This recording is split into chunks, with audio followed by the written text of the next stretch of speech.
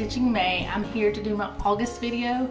I do realize that it's September the 2nd and I do realize that I told you guys that I was going to stop being this late with my videos. Just happened. Um, I'm going to again try for my videos to be the end of the month so you may actually get two videos from me this month. But um, this month has been crazy. Um, I just last week changed jobs, which is a process that's been going on for like a month and a half, but really hardcore last month. Um, I absolutely loved the job that I worked in. Had nothing to do with the people I worked with or anything like that. It was just the schedule. The schedule became a little more demanding than I wanted. Um, I, I work part-time. I was assigned part-time and getting, you know, was as on file as part-time, but we were having to do a lot of call. And then we were kind of being shunned or frowned upon for not doing more than what we were scheduled, which would have put me as 48 hours a week with part-time. And I decided that I didn't want that. I wanted to be truly part-time. So um, I interviewed at a few other places and that kind of thing. And finally accepted a job within the same facility. I'm just considered, or I'm now just part of a float pool so I float from unit to unit and um, the schedule is a lot more um, lenient, a lot more forgiving. We kind of self-schedule. We let our boss know when we can work and what hours we can work. And then like if we can work extra, it's awesome because it helps them out. If not, they understand. Um, we're not, you know, required for call or anything like that. Um, then we had some roof work going on. Um, we had noticed for a while some water on the porch, but didn't think a lot about it because it was outside. You know, it was when it would storm and there'd be water everywhere. Um, however, the other, or a couple weeks ago, my husband and I were sitting out on the porch enjoying a slow rainstorm, and we looked up and realized that it was actually dripping from the ceiling. Not a good thing. Water on the porch is good. Water coming from the ceiling on the porch, not good. Um, we originally thought it was just going to be a quick patch job. We called a roofing company and it just kind of I'm sorry. It just kind of went from there. And then um, it was like it was supposed to be like a two-man a couple hour job turned into a four-man nine-hour job. There was have to had part of the roof removed. There was actually a sway in the roof a chimney rebuilt. And the bad part was is that because I thought it was going to be a quick job they started on a day that they knew that it was kind of supposed to rain that afternoon and then they got into it as they unco- the more they uncovered the more they realized that they were gonna have to do more. Then our roof ended up tarped. Oh it was a nightmare a nightmare. Insurance has been involved now uh, and anyway. And as some of you also may know that we've put my son in daycare. That's why i'm actually coming to you during daylight hours. Um, and I think I'm having a harder time than that than my son is. Um, of course, the first day he was, I don't know, I was probably still more upset the first day too, but he was up upset the first day. The second day he was a little better. Today he didn't even say bye. He like just ran to his little seat and kind of barely waved and we were gone. Um, but I, I think for the first few weeks we're going to keep him in every single day and want to get sure used to the idea that we do come and get him. I think we're going to cut back to three days a week because I kind of still want him home. He doesn't have to be there. I don't need the, I mean, it's more for his socialization more than us and needing a sitter. So um, I think we're going to cut back to three days a week so that I still get to see him before he has to be in school and he has to be there five days a week because I'm missing him a lot. I didn't realize how much I um, relied on my little sidekick. But anyway, more stitching time hopefully and it's going to be a good thing for us both. So, or all three of us actually, but we'll see. It's just taking some time to get used to. But anyway, into cross stitch, which is why you're here, not for my rambling. Um, this month I actually have a fully finished object, a finished object, and then I'm going to show you Starry Night again. I don't know if I showed you where I was at the end of my little month-long thing, but just in case I'm going to show you again. And then I have some progress on my black work by Elizabeth Almond Box of Delights. Um, I'll start off with my fully finished object. This was part of a SAL or a stitch along from the group Cross Stitch and Discuss, which I don't know if you guys have seen my last video, but I listed the rest of the SALs for this year. That way, if you want to join in on here or on Instagram, you know, just let us know. Give us a link. By the way, Grace, um, one of the admins, one of the, my fellow admins, um, on Cross Stitch and Discuss is now making YouTube videos. So I'll put a link to her down in the description so you can see her videos. And of course, you know, Cross Stitch Jewel makes videos. We're trying to get the other two admins, Sarah and Belinda, in on making videos as well. We're trying. Anyway, I digress again. Um, here is my fully finished object. Like I said, it's from the Clouds Factory Sal. And this is the Dr. Seuss pattern and it's got the Grinch, the Cat in the Hat, and Thing 1 and Thing 2 on it. And um, this became a focus piece this month because I wanted to get it done before my son went to daycare. Um, I changed the quote. Originally it said, you're never too old, too wacky, or wild to pick up a book and read a child. But I changed it to a quote from Oh, the Places You'll Go, which is one of the books we read to my son. And it says, you have brains in your head, you have feet in your shoes, you can steer yourself any direction you choose. And I just thought that was an appropriate. Um, I gave this to him on his first day of daycare. I got his picture with it, and I'm going to try if he will cooperate along the years to get his picture with it each year.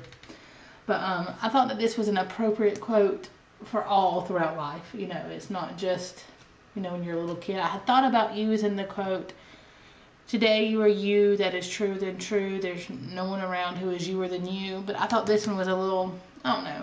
It's saying you've got to make your own way, kind of, but in a nice way. But that's it. And that, this is just a cheap, like, I think I got this frame on clearance at Big Lots. Nothing fancy. I just stuck it in there, and there we go. I may eventually get it more professionally framed. I don't know. And then my other finished object is my stocking. Um, you guys know that I'd already finished finished the um, stocking for my son. That was finished a long time ago. And we'd actually used it, I think, two years now. And then I finished my husband's stocking this year, which I have it here. I don't know why. And then now I have finished my stocking. I will take it this week to the lady who's going to take it to her mom, my coworker whose mom will finish it into a stocking. But here's mine. This is by Bent Creek. It's called My Favorite Things or A Few of My Favorite Things or something to that effect. Um, I changed a little bit on it, not a lot. I um, I added in, these lights were all this one yellow color, but I changed them up into the multicolors because I like multicolored lights on my tree. I thought about adding some ornaments to this, like some French knots, but I was over French knots. And um, also, I didn't want this to be just gold and red on the tree but then this green wouldn't have shown up. So a little bit of my OCD came out and I just left it alone. But um, that's really it. It's just the basic stocking. So hopefully if I can get this to her in time, we will have all three stockings up this Christmas. And if we do, I'll try to remember to show you a, uh, show you all three of them together. Of course, I'll show you these two when they come back from the um, from the lady who's going to make them into stockings. And then my Starry Night, I don't know, I, you may have already seen this. If you have, please forgive me. I just want to be sure that I had shown you. I never finished the this page. I've got like maybe a hundred stitches, if even that many. I don't even know. It's all confetti, so they're kind of hard to see. Um, I'm on a break from this WIP. That the one challenge made from Cross Stitch and Discuss made me realize that I am not a one WIP stitcher. Um, I mean, don't get me wrong, I love this WIP. It's not at all like gonna be on the background or anything, but, um, or no more than I already was. But, um, it got to where I wasn't stitching at all because I was, there were days I didn't stitch at all because I just didn't want to stitch on this piece when instead I could have picked up something and stitched on whatever I wanted. But, um, but there is where I am. I'm almost halfway done. And my husband keeps wanting me to finish it because he's bragged and bragged, he said to his coworkers, and he wants to show that them it's framed. The reason he's to his coworkers is his coworker is the person who does our professional framing. And he keeps talking about how close I am. I'm like, I'm not close. Quit saying I'm close. I've got a whole, this took me four years. I've gotten that much more to go. Don't, don't say I'm close. But anyway, there that is. Again, that's by Ladybug Designs. Okay, and last and definitely not least is my black work designs. I'm not, uh, which is Box of Delights by Elizabeth Almond. I'm not done, so I'm not going to do the close-up. I'm kind of in a weird in-between spot. Um, this is it all over. I only have these six more little boxes here to complete. I need to still do the metallics here in this block. And then of course I'll do the metallics in this block and then I'll go back and add the beads to the whole thing. Um, I'm not going to show you a close-up this month because, or this video because I'm not done with this yet. It would be pointless to show you the close-up when I'm not done. Um, once I get everything done though, I will show you a close-up of the entire project. But this is where I'm at. And yes, I know there are some stitches missing up here on the top. They got pulled out. I'm aware. Organic granny. I'm being silly. Every time I post, it never fails that when I post a video of this, I'm missing a stitch somewhere. And um, she is very gracious and very nice and lets me know that I'm missing a stitch and where it is. And I appreciate that. But I wanted her to know that I knew this one was missing. But um, there that is. That's really everything on this. Not a lot of, not a lot of progress, but then not a lot to go. So, like I said, I'm kind of in a weird in-between, and I'll work on this until it's done. We don't want to WIP stitcher again until this is done. And then after that, I'm not doing rotation. I'm just going to kind of pick up whatever kind of floats my boat at the time. So that's it for my progress. Now on to my RAKs and my haul. Um, I'll start with my RAKs. I was very, very, very spoiled this month. Um, Grace sent me some items and then I got a complete surprise and Miss Belinda sent me some items and I was, like I said, thoroughly spoiled. I'll start off with Grace's items. Um, she sent me this from Pine Mountain. Um, it's called You Make Me Happy. It's the, you know, You Make Me Happy When Skies Are Gray. I will not punish you by singing this song to you. My husband has all the singing talent. But I absolutely love the colors of this and I love the saying. It's a song that I sing and hum to my son all the time and that I was, um, that my aunt sang to my sister and I when we were kids. So I've always loved the lyrics to the song. She also sent me the floss, which I love this color combo. This turquoise gray and yellow. I think those colors are so pretty together. And um, I really, I'm really excited about doing that piece.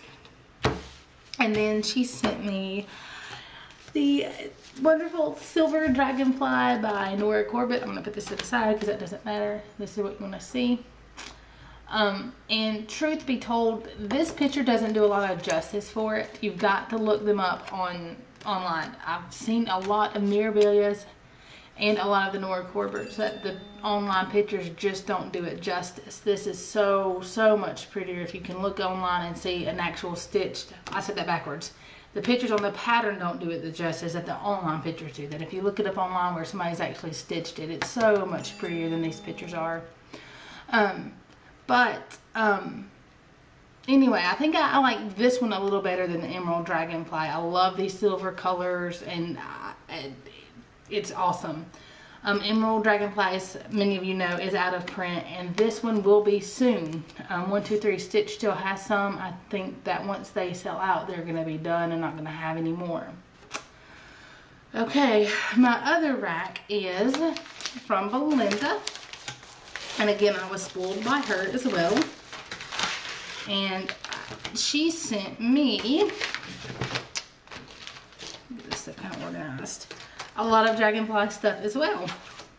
Um, she sent me these embellishments. These are dragonfly magnets. Um, they're meant to go on like your photo frames like that. And they're just an open magnet in the back. But I'm going to use another magnet on the back end of it and use it as a needle minder. I'll probably use this green one first because my son's favorite color is green. And I only want to use one at a time. So, But I'm going to use these as needle minders. These are so cute. And they, they, they, I don't know if they're metal or if they're cardboard, but they're beautiful. And then she sent me this filigree dragonflies pattern. That is it. It's got all these different dragonflies and all these different flowers on it. It's just perfect. I love it. It reminds me of a sampler. And it calls for um, Dinky Dye silk, silks, silks. Um, but I'm probably going to do it in DMC. I don't know. We'll have to see.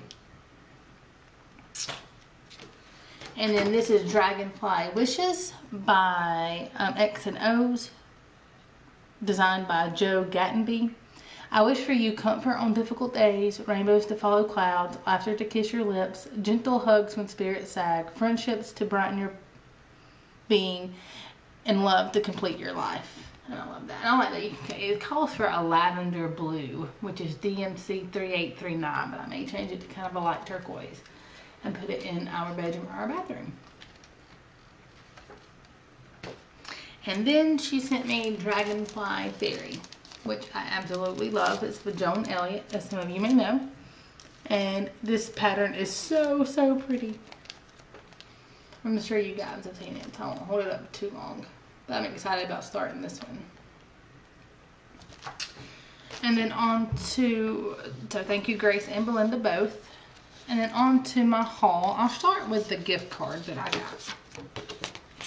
I um, won a gift card on Instagram and I don't want to list the person because I don't know if she makes Flosstube videos and if she wants people to know her name because it is her real name so I will you know leave that out. I will say that the gift card was to Embroid Embroidery Central. This person is also a member of the Cross Stitch and Discuss group as well. But um, I looked online and I waited, like I said, I, I, I don't know how many times I filled up my cart and then emptied out. And then I would fill up my cart and then I'd empty it out. But I finally decided on the 12 Days of Christmas Santas by the Prairie Schooler since they're going to go out of business soon. And I got all 12. So I got three, four pamphlets, whatever, how many ever there are. No, three. Because the other one is the one I purchased. See, I'm getting confused. Um, this is one through four. And this is five through eight. Maybe you can see that. I don't know why I'm looking at it. And this is 9 through 12. But it's a Santa, you know, demonstrating each of the 12 days of Christmas. So I always love that song. I love these Santas. They have it displayed like that, but I don't know how I'll do it. I haven't decided yet. And then that, looking through those, made me fall in love with some other items. Oddly enough, the same person that I won this from on Instagram several weeks later posted a finish, I think it was her, on the group Cross Stitch and Discuss and that caused me to be enabled and I purchased the pattern and this is a urine chalk by Hands On Designs. I've got a couple of these, I didn't get all 12 of them.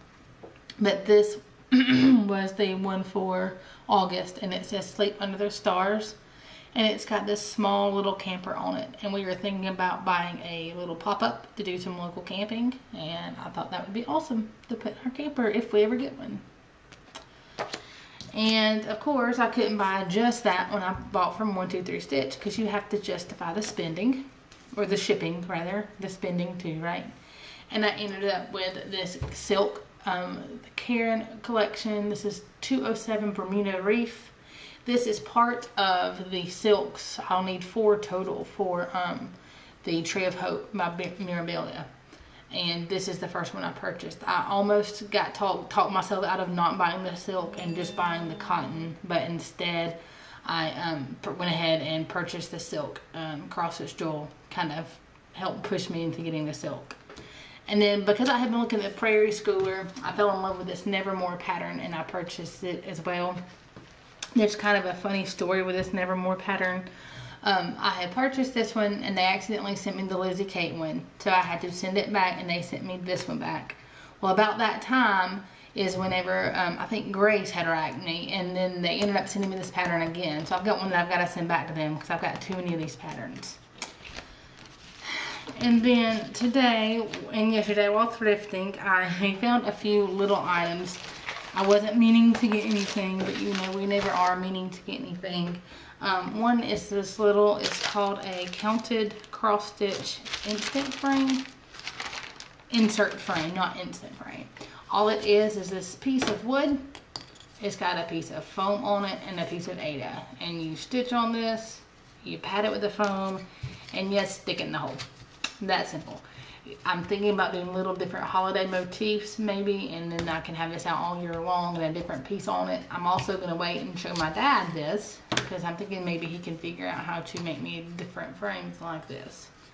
Maybe. We shall see. And then I got, now I will mind you, the next three things I'm going to show you, I paid a whole dollar fifty for. A dollar fifty at a thrift store.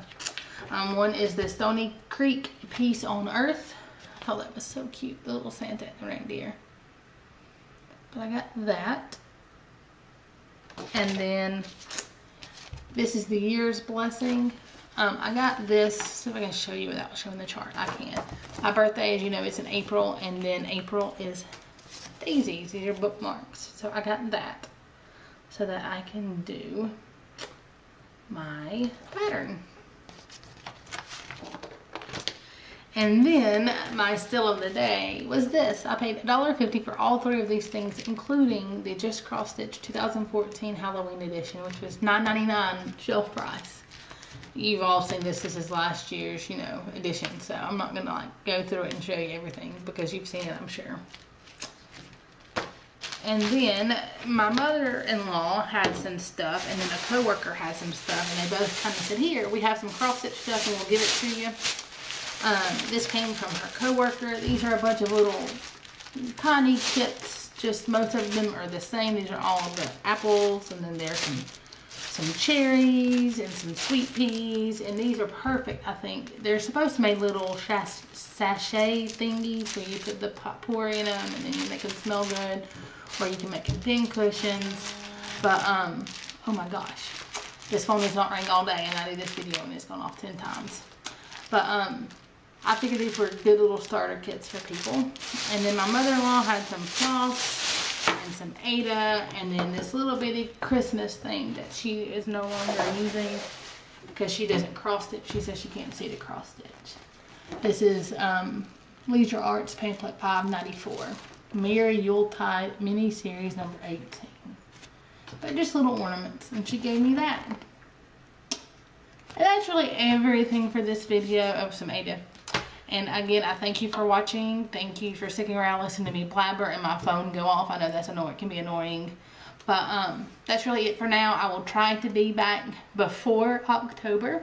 Um, we're doing a vacation in October. And then in November, I'm doing a cross-stitch retreat. Actually, I think pretty sure that Organic Granny and I will be on the same retreat. So if we're there together, we may try to do a collaborated, a co collaborative video. We'll see how that goes. But um, I'll try to be back before October and kind of show you my progress and see there. But I'm not going to swear back because anytime I tell you I'm going to do something, it never happens that way. but thanks for watching.